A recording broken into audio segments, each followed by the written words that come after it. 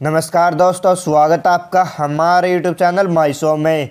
तो चलिए दोस्तों, आज हम बात करेंगे टेलीविज़न के पॉपुलर एक्टर पार्थ समथान के बारे में और जाने कि आखिर पार्थ ने अब तक किन किन सीरियल्स में काम किया है। तो चलिए दोस्तों, शुरू करते हैं। पार्थ समथान का जन्म 11 मार्च उन्नीस सौ इक्यानवे को हुआ था और पार्थ समथान ने अपने टेलीविज़न कैरियर की शुरुआत कई सारे टीवी शोज़ में एपिसोडिक्स रोल करके की थी।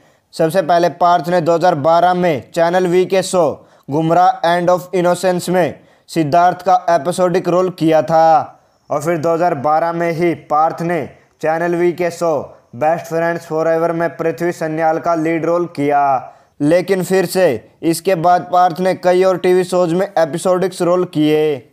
जैसे 2013 में लाइफ ओके के शो साउदर्न इंडिया में एमटीवी के वेब शो में और 2013 में ही ये है आज की शो में पार्थ ने एपिसोडिक्स रोल किए।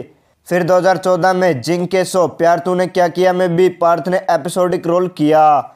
इसके बाद 2014 से 2015 तक पार्थ ने एमटीवी के शो कैसी ये आर्या में मानिक मल्होत्रा का लीड रोल किया।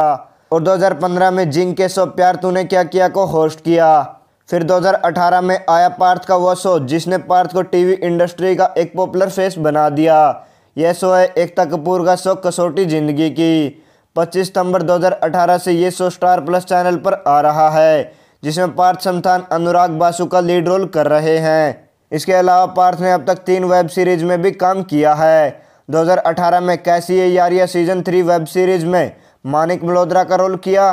2019 में कहने को हम सफ़र ने सीज़न टू में फैजल अलगाजी का रोल किया। और 2020 में पार्थ ने मैं हीरो बोल रहा हूँ वेब सीरीज़ में भी काम किया है। तो दोस्तों, आपको पार्थ संतान का कौन सा सीरियल सबसे ज़्यादा पसंद है प्लीज़ कमेंट ज़रूर करें। और अगर वीडियो अच्छी लगी है तो प्लीज़ चैनल को सब्सक्राइब ज़रूर करें, क्योंकि हम आपके लिए ऐसे इंटरेस्टिंग वीडियो लाते रहते हैं।